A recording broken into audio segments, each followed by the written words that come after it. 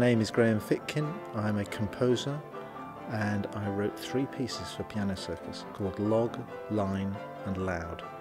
In the 90s I was interested in monotimbral ensembles and so Piano Circus asked me to write one piece for them initially called Loud. I approached that in a similar way. I liked the fact that there were six of the, an identical instrument. It's fantastic hearing these pieces actually on real pianos because that's what I wrote them for. Without Markson Pianos and without Yamaha sponsoring it, it would be very difficult to do this.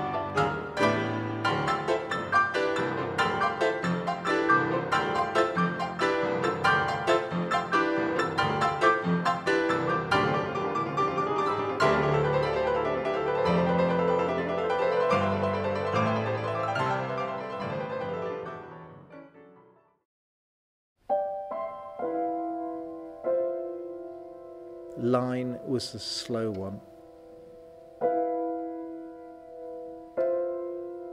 It's a much more sustained piece.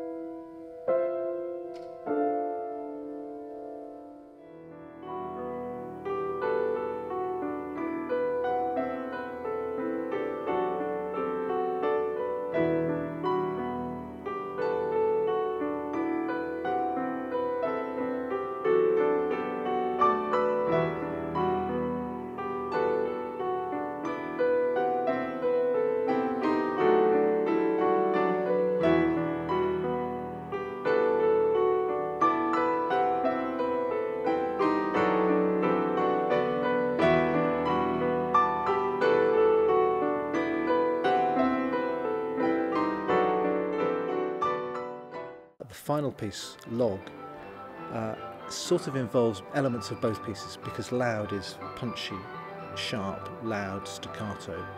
Uh, line is very sustained, and log has elements of both, so it was a sort of tying the three things together.